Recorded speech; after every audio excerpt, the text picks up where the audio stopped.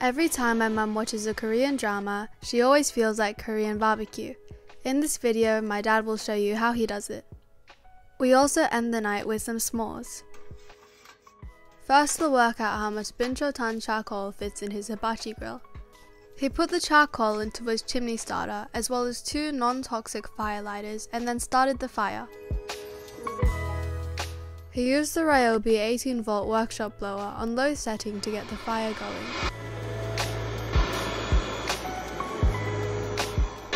Once the charcoal started to turn red, he spread them and blew directly onto them with a higher setting.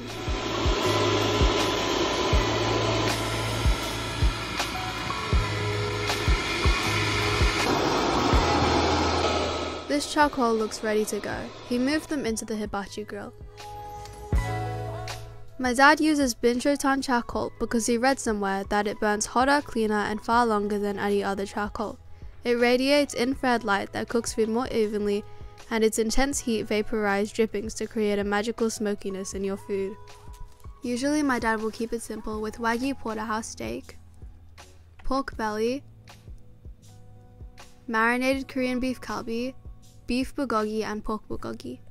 My mom also prepared tteokbokki skewers, kimchi, and some Korean dipping sauces. During the night, we place the ingredients we want to eat first and then add more as we go. The food grills really quickly and produces minimal smoke. It pairs well with truffle salt.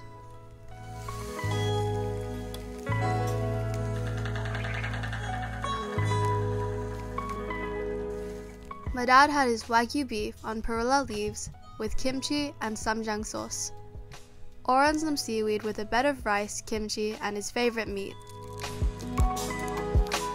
these are so delicious. Over the night, we'll stuff our bellies full while my mum rants about Korean drama. After dinner, my brother and I will always grab some giant marshmallows and toast them over the fire to make s'mores, while my dad spends quality time with his Ryobi bug zapper, camping lights, and radio.